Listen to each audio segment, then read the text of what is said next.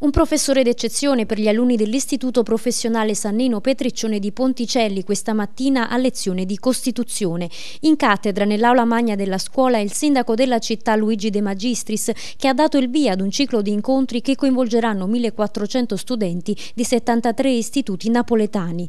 Sei le lezioni in programma fino ad aprile 2012 per diffondere tra i giovani delle scuole secondarie di secondo grado l'importanza della Carta Costituzionale e della democrazia come beni comuni da difendere. Parlare di Costituzione significa parlare di uguaglianza, significa parlare di diritto al lavoro, significa parlare di solidarietà, di Italia Unita, l'ha ricordato anche il Presidente della Repubblica quando è venuto a Napoli.